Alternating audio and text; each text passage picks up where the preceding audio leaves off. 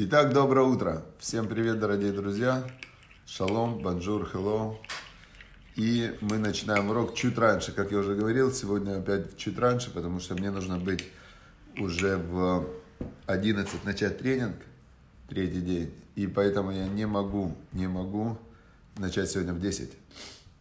Начинаю раньше. И урок будет чуть-чуть короче. Поэтому, поэтому сразу начинаем изучать Третья глава Мишли, притча царя Соломона. Итак, всем шалом, банжур, хело.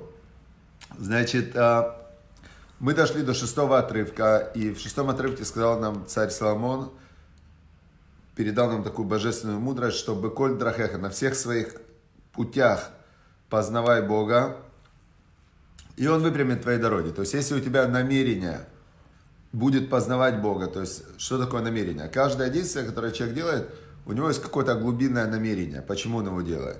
Иногда он его осознает, иногда не осознает. Большую часть действий мы делаем не осознавая, почему мы их делаем. Просто или по привычке, бывает на автомате человек делает. Он когда-то у него было намерение, он э, создал себе какой-то автомат, и он делает. Бывает такое. Бывает есть вариант, э, когда человека запустили другие люди. То есть он идет по по схеме других людей. Например, армия, яркий пример, э, как э, солдат выстроили призывников и спрашивают, э, скажите, пожалуйста, вот почему ты здесь, одного спрашивает командир, ты почему здесь? Он говорит, я в армии, потому что я пришел служить Родине.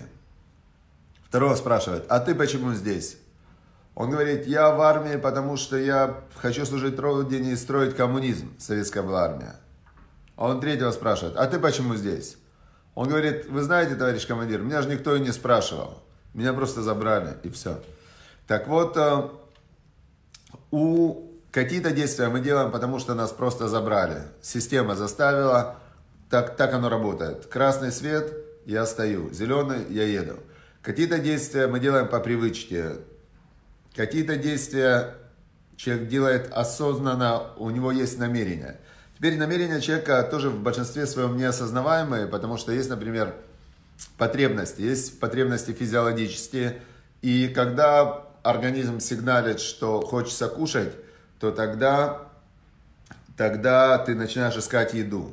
Когда человеку страшно, да, он думает, как же мне сделать себе пещеру, там, жилье, жилье, значит, э, обустроить, нужно где-то жить.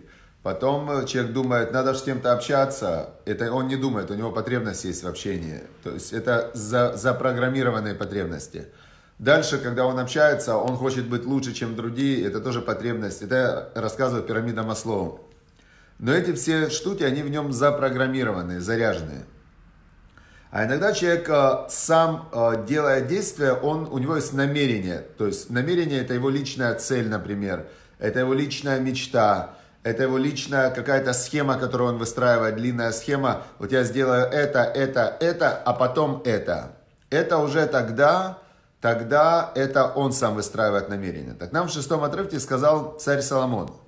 Если твое намерение будет, твое намерение будет, Анна, э, на всех своих путях, дорогах познавать Бога, то есть ты все время в свое намерение, вот в любую свою длинную схему, я хочу это, и ты туда добавляешь э, познать Всевышнего, познать Бога, познать к Нему как-то приблизиться, познать Его. Э, тогда написано, он сказал нам, царь Соломон, что Бог выпрямит твои дорожки. То есть тогда твои дорожки будут прямые. Дальше, седьмой отрывок. Альты хахам бейнеха. Не будь мудрецом в собственных глазах, он говорит. Альти хахам бейнеха. Ире эташем весур мира. Бойся Бога и отодвинься от зла. Теперь э, человек, когда он выстраивает свои схемы жизненные, он, например, э, то есть он вышел уже, он говорит, секундочку, я буду сам управлять собой. Это моя жизнь. Вот моя, моя там, например, цель какая-то, да? Да, я хорошо, я за Бога. За Бога я хорошо. Но вот как я за Бога, я уже сам решил, говорит человек. Это называется хахам это называется быть мудрец в своих глазах. То есть человек говорит, я вот встречал несколько таких мудрецов,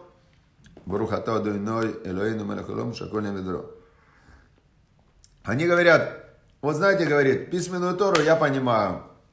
Написано, написано. У меня вопросов нет. Все, что написано, я читаю. Читать умею. А устная Тора, то, что мудрецы сказали. Нет, секундочку. Это я не хочу слушать. Это мудрецы сказали. Они мудрецы, и я мудрец. Я знаю несколько таких человек. И я буду сам сейчас выдумывать, что Бог имел в виду, что Бог от меня хочет. Я сейчас сам себе придумаю. Говорит нам царь Соломон, не будь таким мудрецом в своих глазах. Тора, она была получена Маше Рабейну. Маше Рабейну, Моисей, он получил Тору на горе Синай. 40 дней и 40 ночей он был э, на горе, не ел, не пил и получал Тору. Потом он Тору передал, э, передал Муше Тибель Тора Синай, получил Тору на Синае у Масрали Иушуа, передал Иушуа бен Нуну. Иушуа бен Нун, Иушуа Лескиним, он передал старейшинам. У Скиним ли Навим, передали пророкам. Скиним ли старейшины пророкам передали и так далее. И Тора передавалась. И не можешь ты быть мудрецом в своих глазах и сказать, что я сейчас вам расскажу, какая Тора, как сделали когда-то реформисты, консерваторы э, и прочие-прочие э, выдумщики, которые добавили, убавили, э, пере, прибавили, перекрутили и так далее. Понятно, да? Бойся Бога, сказал царь Соломон. Побойся Бога, он говорит. Ты пойми, что Бог это не игрушка, Он хозяин мира, Он дает жизнь всему живому, и Он жизнь забирает, Он разрушает города, и Он дает людям возможность их строить. То есть это Бог, это Бог, это Создатель мироздания, который все мироздание поддерживает вообще в существовании да, у тебя есть возможность, у тебя есть возможность э, про него думать. То есть ты человек всего лишь, да, всего лишь человек. Ты можешь думать про Бога, ты можешь постигать Бога, ты можешь постигать Его волю. Но сказать, что ты знаешь это, и то есть ты взять на себя право что-то менять нельзя. Нельзя. Понятно, да? Значит, сказал нам царь Самон, седьмой отрывок, «Альтия хахам бейнеха, не будь мудрецом в своих глазах, и рей ташем». Бойся Бога, высур мира и отодвигайся от зла. То есть главным принципом, э, сказал нам царь Соломон, а он это получил от царя Давида, своего отца, сур мира, отодвинься от зла, ваасетов и делай добро. То есть здесь э, у человека есть, э, вот смотрите, что сильнее? Вот вы идете по тропинке, вы идете по тропинке, лес, и э, там вот вы видите вдалеке где-то земляничка в чаще леса. И вы смотрите, вот земляничка, но вас предупредили, что в этом лесу водятся дикие змеи и дикие пауки. Ядовитые дикие змеи и дикие пауки. И также туда заходят дикие лисы бешеные и волки. И они вот э, как раз они возле землянички все пасутся. Будете вы, пойдете вы за земляничкой? Конечно нет. Если человек нормальный, он скажет, секундочку, если есть хоть маленький шанс – что меня сейчас укусит паук, змея, дикая лиса, волк там и так далее, зачем мне эта земляничка? Зачем мне эта земляничка? Я лучше отодвинусь от зла и буду делать добро. Теперь, если, если у человека, ну, нормальный же человек, он понимает, есть Тора, это то, что получил Маше Рабейну и то, что передается. Да, мы верим. Написано, что еврейский народ «Ваяамину бемаше, беашем у бемаше авдо», что они поверили в Бога и в Моше, его раба. Да, Моше это был как раб Бога, то есть он полностью передавал волю Бога. Они поверили, и мы верующие, то есть мы верующие, дети верующих. Теперь, но если человек сидит и думает, так, что у меня в жизни? У меня есть вещи, которые мудрецы сказали, что это запрещено, что Бог запретил, Тора запретила. И мне, вот мне по моему разумению, по моим мозгам, кажется, что можно. Что я, кстати, думаю, что земляничку эту мне можно взять. Только страх перед Богом может удержать человека. Это мы уже учили в первой главе, что Ират Ашем – решит дат, хахма мусара велим базу, что страх перед Богом, он удерживает вот это вот познание Бога на месте. Это как штиф такой. Нету страха, если все теория, теория она, тут теория про паучков, тут теория про земляничку, и, конечно, земляничка победит, если в теории. А если испугаться, то паучок победит, дети, понятно. Поэтому нам сказать царь, царь Соломон, не будь мудрецом в своих глазах, то есть пойми, что то, что ты знаешь, ты знаешь очень мало, очень-очень мало. Я обычно на тренингах людей проверяю, говорю, вот скажите, вы же знающие люди, знающие, жизнь знаете, повидавшие, повидавшие. Я говорю, а сколько вообще вот вы живете в мире, сколько в мире стран? Кто знает? Вот напишите, пожалуйста, сколько в мире стран? Кто сейчас... Э, мы все живем в мире, все вместе живем в мире. Сколько стран в мире? Вот Наташа Блау, как вы думаете, или Татьяна Абрамова, сколько в мире стран? Кто напишет первый? Количество стран. А? Так, что-то у меня нет комментариев. В общем, э, обычный человек, который не знает, сколько в мире стран, он пишет э, или думает, что в мире там от, э, от 178, как говорит Олег Марголин, Марьяна Кутикова думает, что 250, Вера Перлина думает, что 200, Альберт Постольник думает, что 200, правильно? То есть в среднем люди думают от 500 до... Оксана Середченко прибавила стран вообще, 240, Оксана Лисак. Википедия, я когда-то смотрел Википедию, Википедия говорит, что 251 страна в мире. 251. То есть те, кто написали 200, просто забыли, э, просто забыли 50 стран. Немного, не такая разница, да? Я живу в мире, в котором я забыл про 50 стран. Сколько стран в мире? То есть каждый человек, да, Википедия говорит, э, в состав, вот смотрите, интересно, Википедия говорит, в состав Организации Объединенных Наций входит 193 страны, там тут вдруг 195 цифра вышла, сейчас в мире насчитывается 252 страны. То есть, не знаю, 252, да, мы все посмотрели, 252. Что получается? Получается, что человек живет не в мире, а в своей модели мира. Он себе что-то напридумывал.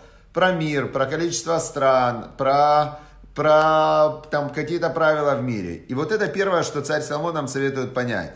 Не будь мудрецом в своих глазах, пойми, что ты знаешь о мире очень мало. Теперь и второе, что он говорит, бойся Бога, бойся Бога, говорит, Бога бойся, потому что Бог, Он управляет миром. И если ты его боишься, тогда этот страх, он тебя заставит, он тебе поможет, он тебя не заставит, он тебе поможет отодвинуться от зла, то есть спастись, и потом делать добро. Восьмой отрывок. И он говорит дальше, не бойся, говорит, рефуат тиели лишареха, это будет лечением для твоих мышц, вышикули от сматеха, и это будет э, наполнением твоих костей. То есть человек может подумать, а как же это я? Как я без землянички проживу, подумает человек. То есть меня же Тора лишает того, лишает того. Это как змей, когда он с первой женщиной разговаривал с Хавой, он ей говорит, да, говорит, тяжело вам. А вот сколько деревьев хороших, и вам ничего же есть нельзя. Женщина ему говорит, нет, нам все можно, от одного дерева нельзя. Дерево познания добра и зла. То есть, в принципе, нам нельзя только одно, делать зло. Бог говорит, вот послушайте меня, вам все можно, весь мир ваш.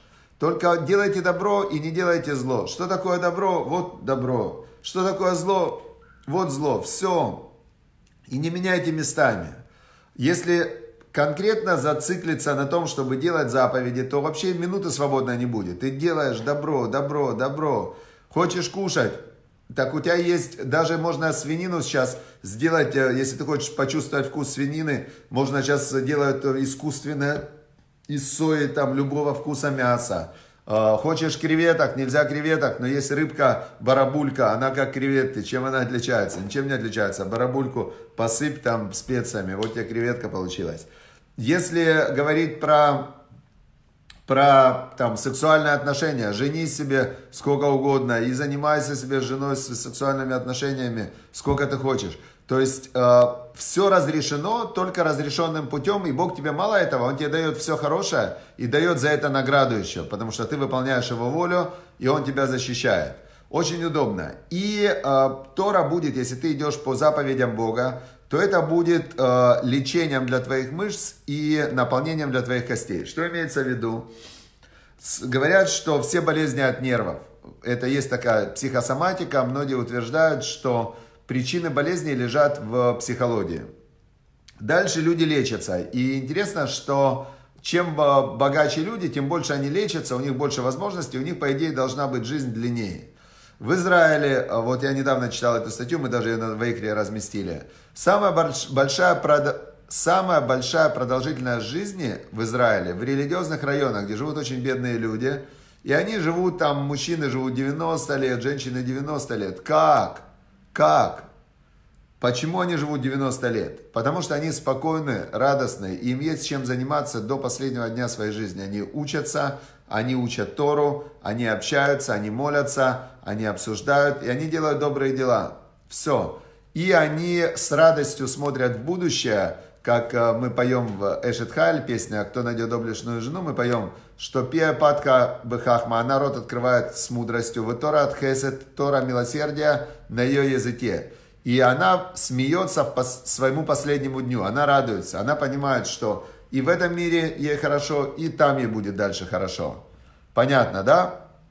Все. Вот это то, что нам сказал царь Соломон. Значит, еще раз, на всех своих путях познавая его волю, он выпал, и он выпрямит твои тропинки. Не будь мудрецом в собственных глазах и удались, э, бойся Бога и удались от зла. И врачеванием будет это Тора, то есть для тела твоего и освежением для костей твоих. Все. Вот такая простая вещь. Понятно, да? Все, дорогие друзья, сегодня я заканчиваю, потому что мне нужно ехать сегодня тренинг. Завтра с Божьей помощью уже будет в 10. Все, удачи, успехов. Еще раз, Тора это как семена, и когда вы что-то учили, поняли, осознали, нужно еще раз это записать, с кем-то поделиться, кому-то рассказать подумать, как это повлияет на вашу жизнь, подумать, как вы можете действовать теперь чуть по-другому. Можно купить барабульку, съесть на всякий случай. Все, всем удачи, успехов, всем хорошего дня.